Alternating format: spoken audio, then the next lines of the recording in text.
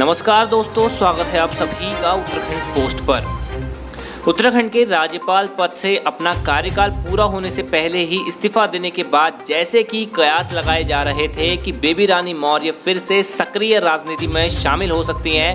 अब खबर मिल रही है कि बेबी रानी मौर्य को भारतीय जनता पार्टी ने राष्ट्रीय उपाध्यक्ष की ज़िम्मेदारी दी है। आगामी यूपी विधानसभा चुनाव को लेकर ये ज़िम्मेदारी काफ़ी अहम है। और अब बेबी रानी मौर्य बीजेपी को चुनाव जिताने के लिए पूरा ज़ोर लगाती आपको नज़र आएँगी।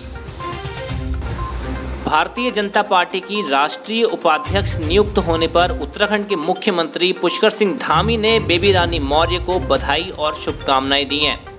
बीजेपी प्रदेश अध्यक्ष ने भी बेबी रानी मौर्य को बधाई और शुभकामनाएँ दी हैं। सीएम धामी ने ट्वीट किया बेबी रानी मौर्य को शीर्ष नेतृत्व द्वारा भारतीय जनता पार्टी की राष्ट्रीय उपाध्यक्ष नियुक्त किए जाने पर हार्दिक बधाई एवं शुभकामनाएँ।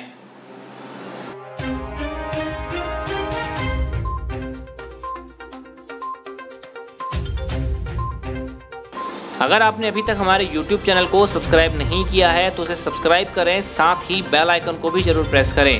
वीडियो को लाइक करें और शेयर ज़रूर करें।